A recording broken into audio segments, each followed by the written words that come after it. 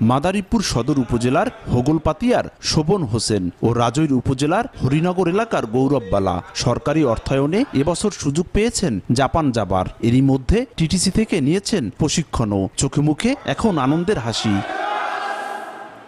সরকারিভাবে বিনা খরচে জাপান যাওয়ার সুযোগ হয়েছে।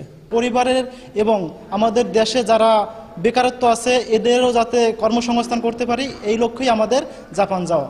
শুধু শোভন কিংবা গৌরবী নন তাদের মতো ছয় যুবক বিনা খরচে এবছর জাপান যাচ্ছেন। চার মাস মেয়াদি কোর্স শেষে একাধিক পরীক্ষায় উত্তীর্ণ হওয়ায় এই সুযোগ করে দিচ্ছে সরকার। এর আগে গত বছর মাদারীপুর থেকে একইভাবে জাপান গেছেন আরও নয় জন। এতে এসব পরিবারে ফিরেছে সচ্ছলতা।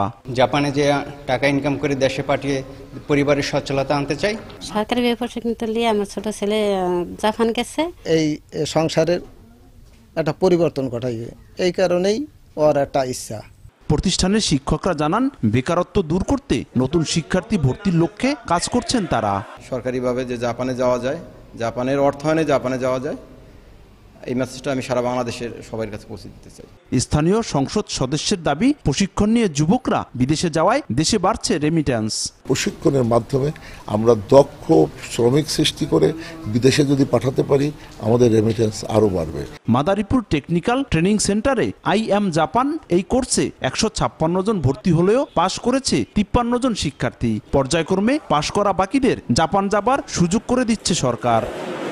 বাংলাদেশের যে কোনো জেলার শিক্ষার্থীরা বিনামূল্যে এখান থেকে প্রশিক্ষণ নিয়ে জাপান যাবার সুযোগ পাচ্ছেন। সেখানে কাজের বিনিময়ে এদেশের প্রায় এক থেকে দেড় লাখ টাকা উপার্জন করবেন বলে প্রত্যাশা এসব শিক্ষার্থীদের।